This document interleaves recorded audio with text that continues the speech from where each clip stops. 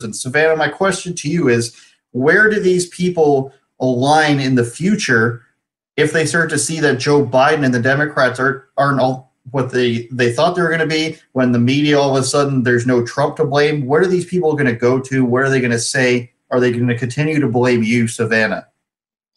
I don't think they ever will realize it because the media will be running cover for Joe Biden and Kamala Harris for the next four years. Big tech will silence any conservative who speaks badly about Kamala Harris or Joe Biden for the next four years. So, this average person who did vote Kamala and Joe into office and who genuinely thinks that they're the best thing since sliced bread, they are not going to see you know, the realities of what Joe Biden and Kamala Harris are doing to this country. I mean, look at the reporting on Joe Biden and Kamala before they have even taken office. Some reporter was like, oh, let's look at Joe Biden's funny socks. Let's put Kamala Harris on the cover of Vogue.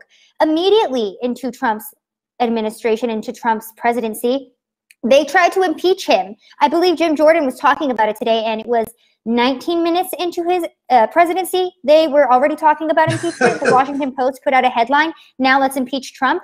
So the media bias is very, very different. And the average person who is stupid enough to vote for Joe Biden won't be smart enough to go and look for their own research outside of what the media or what big tech is showing them. So these same people, and I will try to be nice because I do have cousins who voted for Joe.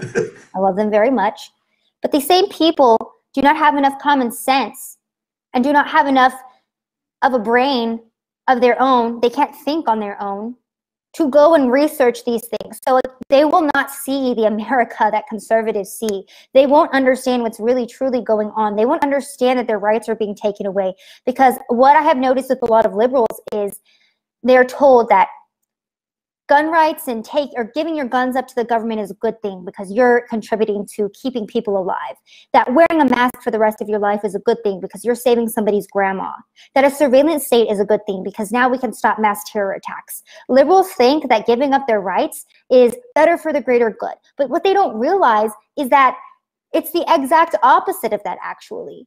That we're giving all of the power to government, we're giving all of the power to politicians, and we're just we're giving away our souls to these corrupt leaders in government. And that's what a lot of people on the left don't realize that it's very it's not even sad to see. I mean th- that's what these people are. That's why they voted for joe and kamala because they can't think for themselves. And you know we're going to be in this state until people have suffered enough to finally stand up and realize that they don't like life this way